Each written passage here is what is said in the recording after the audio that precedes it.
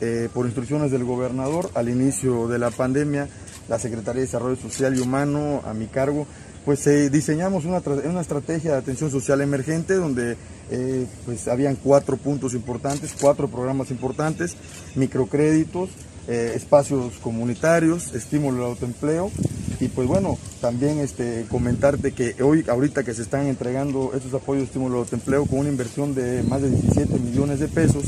aquí en Carmen decir que solamente esta inversión van a ser más de un millón de pesos, un millón doscientos cuarenta y cinco mil pesos para beneficiar a 336 personas de 12 comunidades. Y comentar que precisamente ese es el compromiso de este gobierno que encabeza Carlos Miguel Aiz, un gobierno sensible que entiende a la gente, que sabemos que en esta pandemia que nos ha golpeado a todos,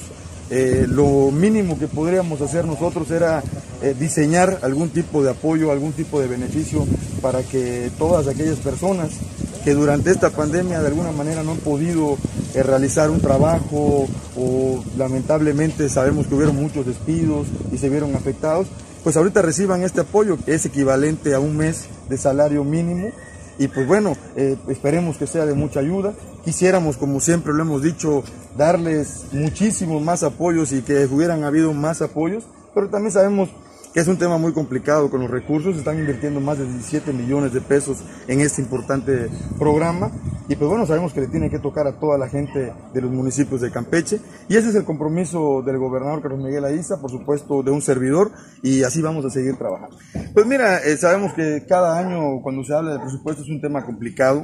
eh, yo siempre he comentado y he dicho eh, a título personal que no hay presupuesto que alcance porque sabemos que hay muchísimas necesidades. Eh, nosotros que estamos todos los días en el territorio lo vemos y pues quisiéramos muchísimos más apoyos para apoyar a las familias, pero también sabemos que hay muchísimas necesidades, que no solamente es el estado de Campeche, que son todos los estados del país y que bueno, que nosotros tenemos que buscar también alternativas, eh, ver qué es lo que se puede hacer con el recurso que se tiene, diseñar y por supuesto seguir impulsando lo que es positivo, lo que ha sido bueno, los programas que son buenos, analizar a lo mejor si hay algún tipo de programa que no sea tan impactante o que no beneficie a lo mejor como quisiéramos. Y pues bueno, ahí tendremos que nosotros hacer ese análisis, hacer esos ajustes para que se pueda hacer mucho con lo que se tiene de recursos.